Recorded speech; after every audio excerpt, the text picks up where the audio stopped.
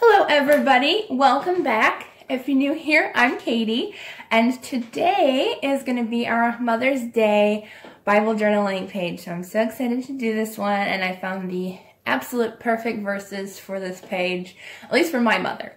All of your mothers are probably different, but this one is for my mother. It's absolutely perfect.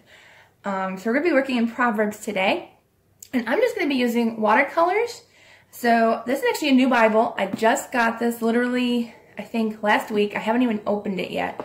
Well, I opened it a little bit just to see the pages, but this is an interleaf Bible, and it has one complete blank, blank page in between each different page. So if these, sorry, I can't talk. So if you're new to interleaf Bibles, this is what they look like, and there is a blank page in between each page, which is awesome. You can journal the entire page. You don't have to worry about covering up any verses or anything. There are tons of interleaved Bibles out there. I will link this one down below. It is more money now, but if you look at Amazon and you look at like where they have like the second party sellers, um, you may find this for a lot less than what Amazon is selling for. That's how I found this one.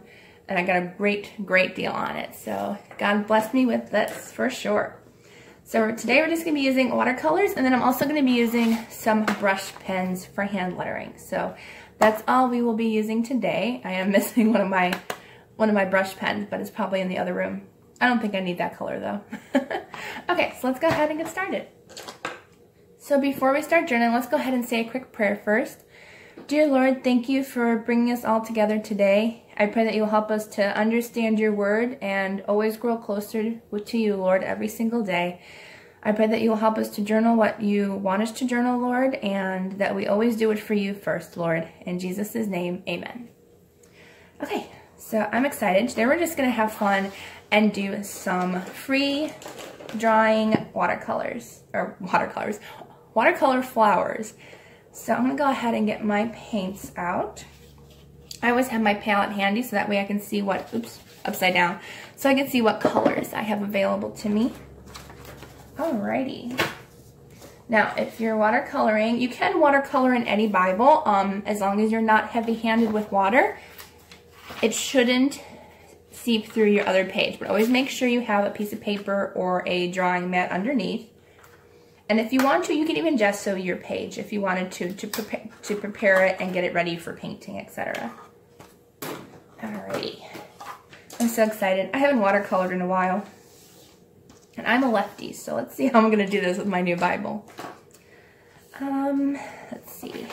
I am ambidextrous, but I really do want to paint with my left hand today. So I think I'm going to do it this way. There we go. Okay. I got my paper in there. And I did not prep my page because I wanted to see how this paper takes watercolors because I can always use gesso on the back of it and um, paint over it so it won't show up on this side. So let's go ahead and get started. So I have my water handy. I always have my water and I don't have two cups, but you can have two cups of water and that way you can clean off your dirty brush and then clean it even more with clean water. That's what I've heard. I do do that once in a while.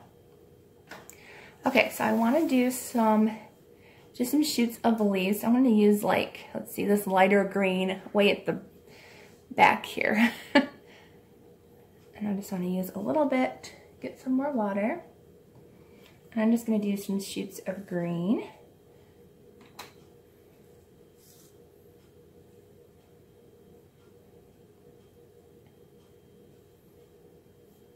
just to get some nice, cute stems going up. And then you don't have to add any more leaves or anything. Um, I was looking for ideas on YouTube and on Pinterest. I saw this really cute idea and I just got the inspiration from it. These are all um, just getting inspiration. I will try to find the original video that I saw and I will share it in my description box down below. But you can do whatever flowers you want. I'm going to go ahead and, and, do a lot of different flowers here. I'm going to do some, some pretty like lilac colored flowers. And then I'm going to be doing some, some like, um, definitely some blue flowers. Let's do some blue lilacs. I think there's blue lilacs out there somewhere. So I definitely want to do some blue here. I'm going to do this medium blue, or this lighter blue. And I'm, yeah, okay. I had a couple different paintbrushes and I'm wondering if I'm using the right paintbrush.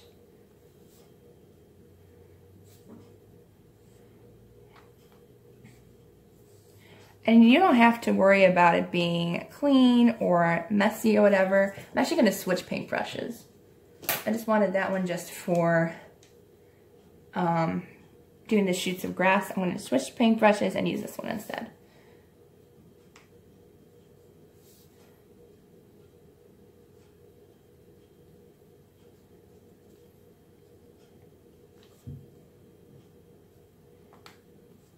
But my mom loves blue, so I'm going to do some blue flowers.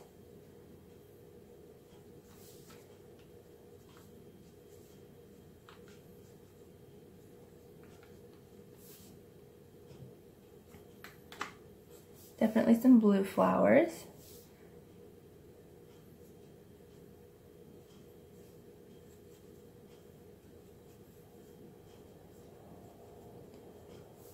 And I'm doing like the most easiest flowers that I know how to draw and paint. So that way you guys can follow along. I try to make all my tutorials easy for you guys. That way it's easy to follow along and you can paint with me. And you can also use um, color pencils if you wanted to. You don't have to use the exact same medium that I use. Okay, let's use, let's see, let's do some daisies, like some, or black-eyed Susans. Let's do that. Let's see. I think I'm gonna do like, um, maybe this yellow, like this mustard yellow, I think will be pretty. Oops, almost lost my paintbrush. And I have too much water, so just take off a little bit when you're doing this.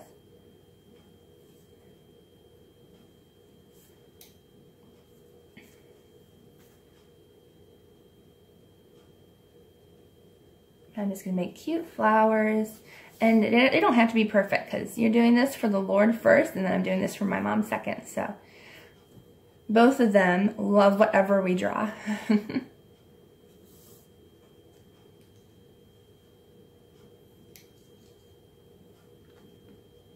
And I think I'm going to do another one down here maybe.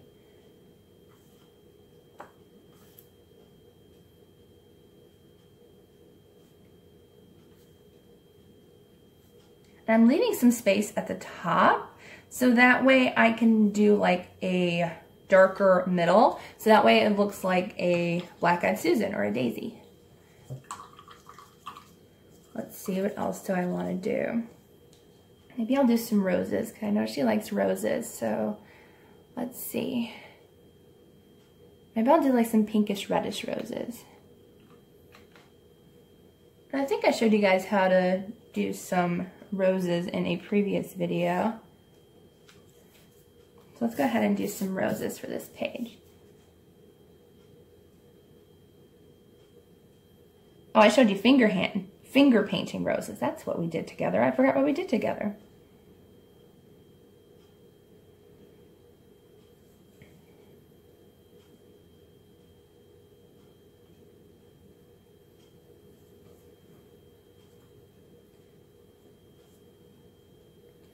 But it's always good to even practice doing your flowers because I'm still practicing. I'm not the perfect with flowers or anything, but it's always nice to practice and kind of get used to doing flowers because I'm not great with watercolor flowers, but at least we can practice and we can keep getting better as we do it.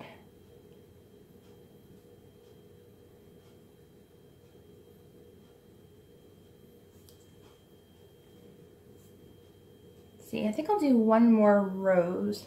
Let's see, I think I'll do it over, hmm, let's see, let's do one over here. Now I'll put all the roses kind of together, so I'll do one down here. You just kind of do like little U's with your paintbrush, and you can even do that with a regular paintbrush, not a watercolor brush, but since I have watercolor brushes now, I can actually start using them. There we go. Let's see what else do I want to do. Maybe I'll add another yellow flower.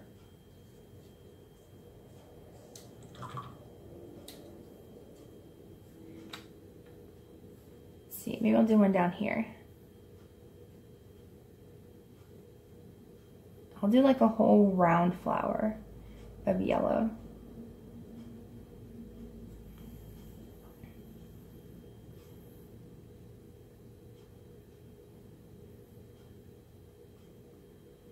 There we go. Okay, I think I'm gonna add some purple flowers too. I think this needs purple. So let's go ahead and do some purple flowers. Let's see, where are my purple colors? They're down here. Okay, so let's see here.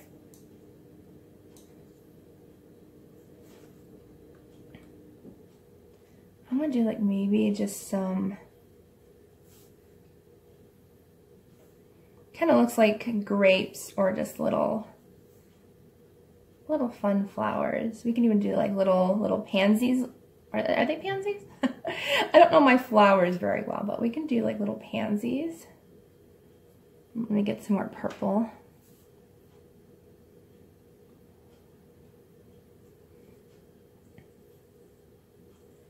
There we go. Cute, I like the purple. Okay, let's add a few more purple. I like the purple a lot. So we'll add some more purple.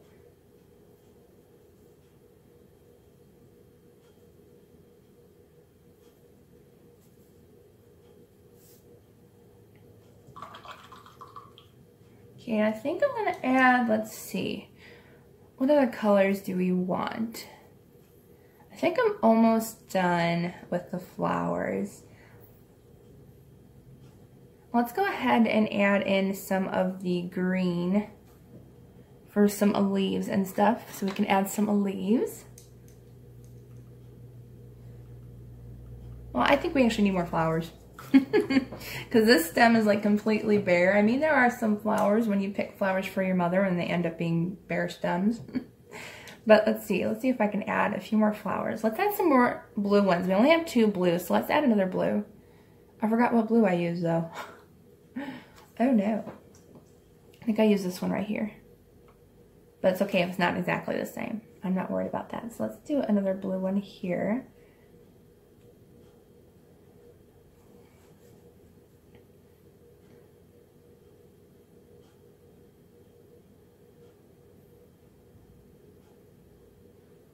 There we go. Kind of needed another blue flower in there somewhere.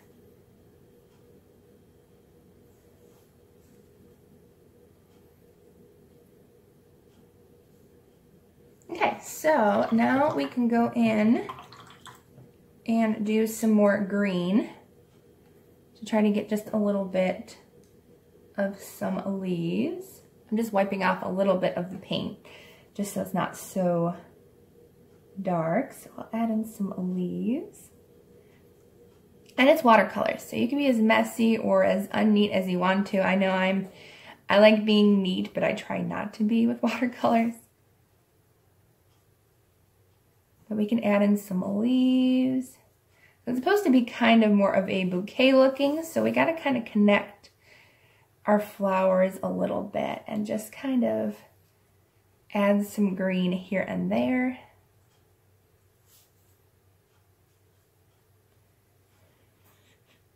All right, let's add some green over here.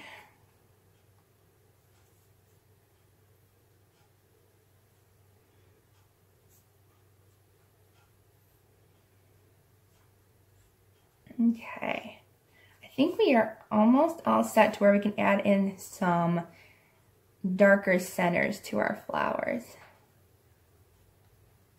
And I'm just to go ahead and use up the rest of my green color. It's very pale now, so I can just go ahead and do little touches of green in between the flowers. So it kind of looks like it adds little, just a little bit of greenery in between.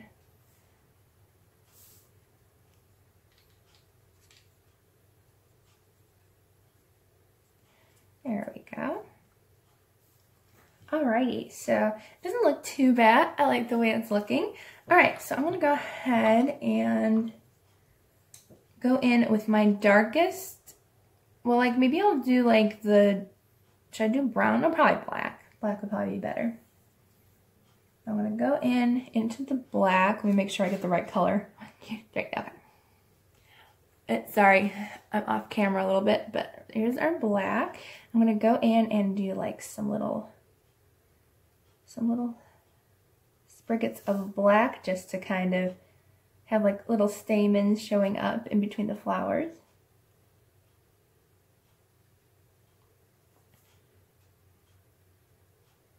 And you can let it dry a little bit more if you want it to be a little neater, but I like the look of like just the watercolors blending together.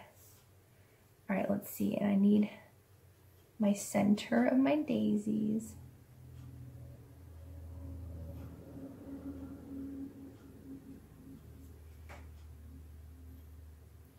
Just make sure you don't have a lot of water because it could spread a lot. So I'm just being really really gentle with my water because it's going to spread a lot. there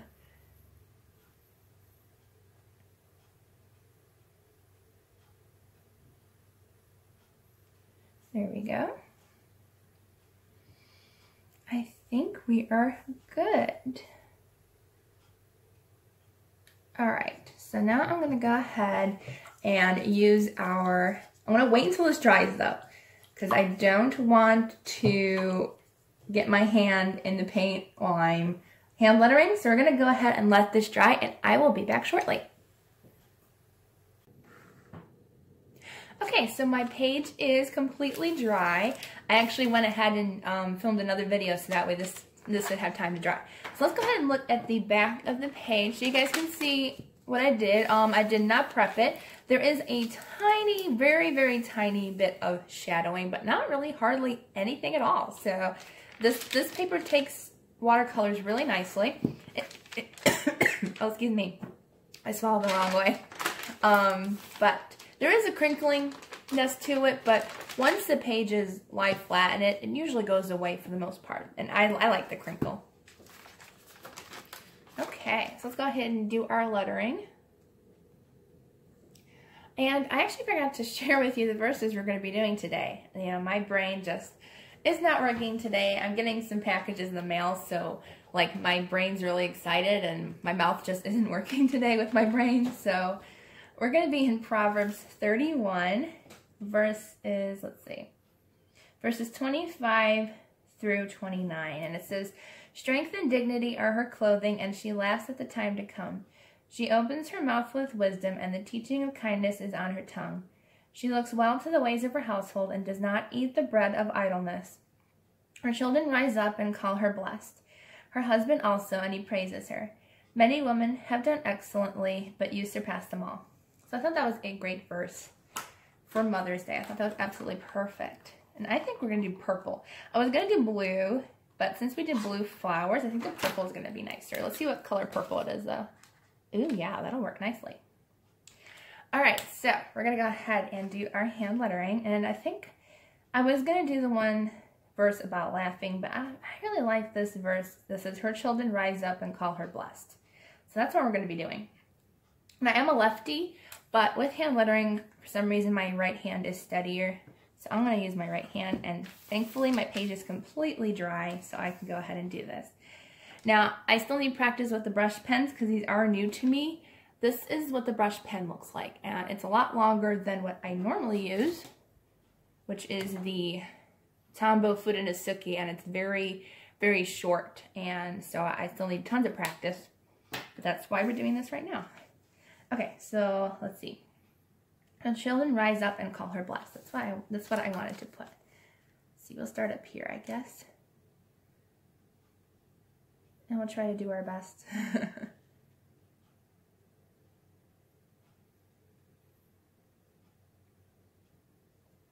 Her children. I gotta keep my paper steady.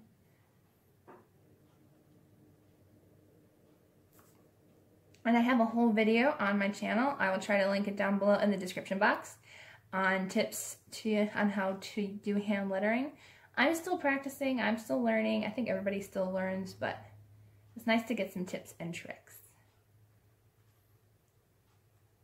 Okay, let's see. Her children rise up and call her blessed.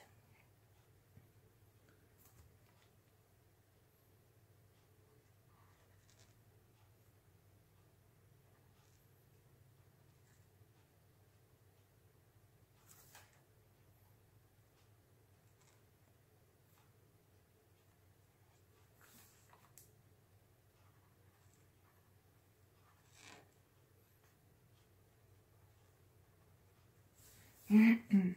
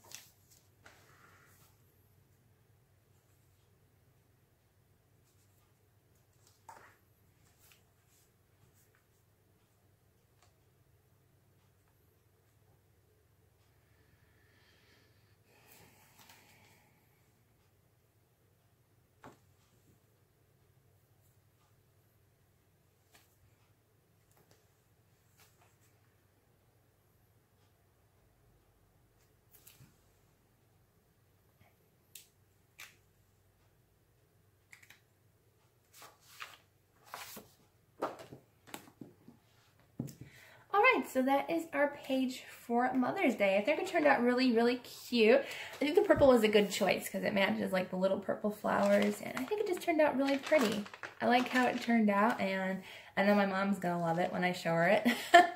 but I hope you all have a wonderful Mother's Day. Um, you know, even if you're not a mother, which I'm not a mother yet, but we still try our best to be good examples for younger women and even older women sometimes if they don't know Christ.